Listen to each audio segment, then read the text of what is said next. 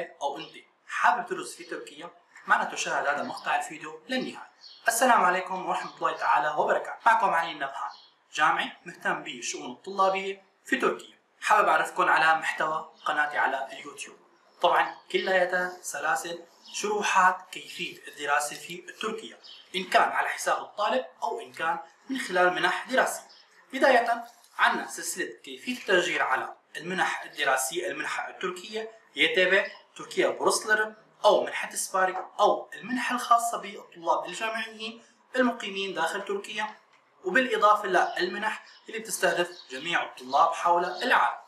كمان في عنا سلسلة كيفية التسجيل في الجامعات التركية الحكومية من خلال امتحانات القبول الجامعي أو من خلال الثانوية العامة. طبعا كل جامعة وشروط التسجيل عليها وآلية التسجيل عليها شرح مفصل 100% حابب تتعلم اللغة التركية مجانا ومن أشهر المنصات في العالم أيضا بتلاقي شروحات عنها.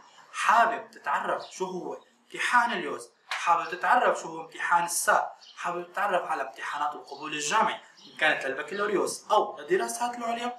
حابب تعرف كيفية التسجيل على هي الامتحانات القبول الجامعية؟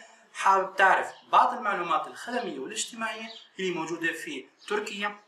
كل هاي التفاصيل بإمكانكم تتابعوها من خلال قناتي على اليوتيوب.